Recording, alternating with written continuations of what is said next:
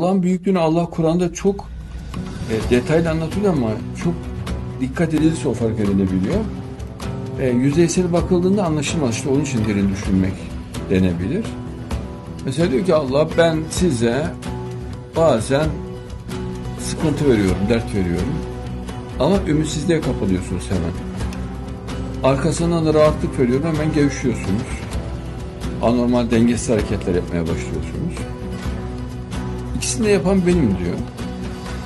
Ama siz bir aksi bir şey oldu mu onu birisi yaptı zannediyorsunuz diyor Allah. Ya başka biri yaptı zannediyor. Halbuki ben yapıyorum diyor. Ya bütün, bütün güç bende dikkatlice bakarsan her şeye atoma maddeye hakim olan benim diyor Allah.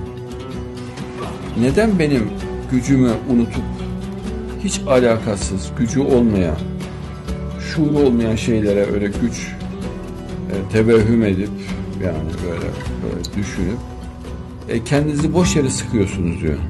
Sonra birden de şımarıyorsunuz arkasından diyor. Dağıtıyorsunuz diyor.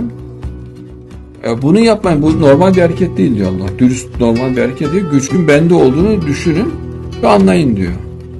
E şimdi bu derin düşünmek.